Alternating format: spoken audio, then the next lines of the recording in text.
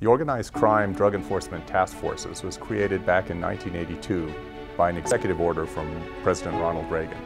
The objective at the time was to bring all the forces of the federal government together to make a concerted attack on the drug trafficking organizations that were moving massive amounts of drugs into the country, disrupt and dismantle them. What makes OCDETF unique is the way it encourages all of the agencies to work together and it encourages them to work in pursuit of a common goal. As our mission has expanded, we are looking beyond just drug trafficking organizations and money laundering organizations to other sorts of uh, transnational organized crime.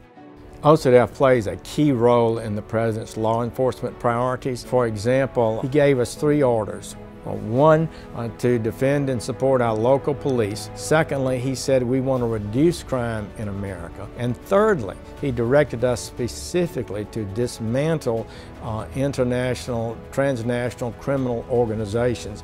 And the biggest of those, of course, are our drug dealing organizations. And they have hundreds of millions of dollars, even billions of dollars in wealth. They have their own armies. They threaten the peace and stability of whole nations. And we cannot allow them to strengthen themselves in the United States to bring in more and more addictive substances uh, that destroy American lives. The state and local uh, police and law enforcement officers play a critical role in OCDETF, and it has from the beginning. We've always worked together. Through an OCDETF operation blueprint, uh, we were able to bring down one of the largest and most dangerous uh, dark web um, marketers, Alphabay. Uh, that's a great example of how OCDETF brought together not just DEA, uh, but FBI, IRS, CID, and ICE from the Department of Homeland Security with many international partners to target a very dangerous online presence.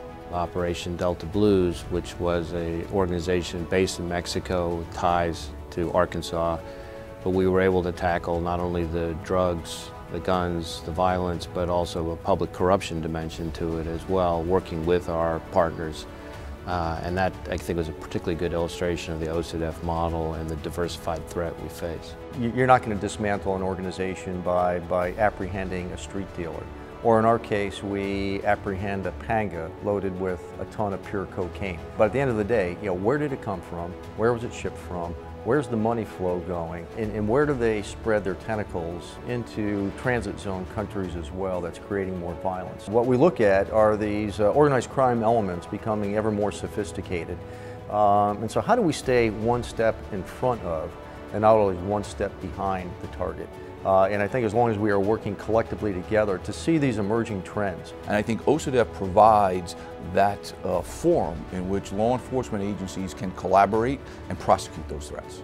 Well, I think it's important that Secret Service joins OCDETF. Has been, we've been a part of it uh, on the peripheral up to a, certain point, but being now a full-time uh, partner, we've always benefited from the criminal intelligence that OCDETF has provided and their targeting of transnational criminal organizations that focus on the uh, nation's financial payment systems will increase collaboration between the Secret Service and OCDETF and its other partners.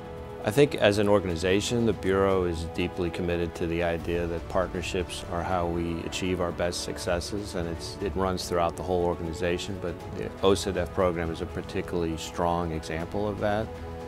The reality is that in a partnership of different federal agencies and particularly with state and local law enforcement allows us to better share intelligence, cooperators, witnesses, uh, build better cases and have better success.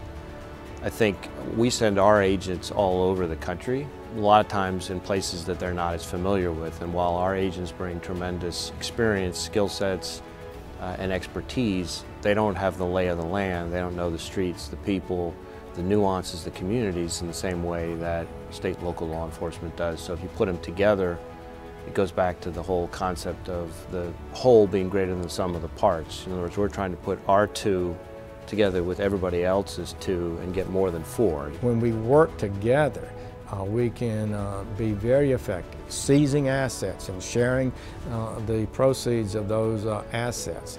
Uh, also a, a, key part of the partnerships that, that help bind us together in an effective way. All of these things are in pursuit of the same goal, which is to provide combined comprehensive investigations of the worst drug traffickers and other transnational organized criminals and take apart their organizations.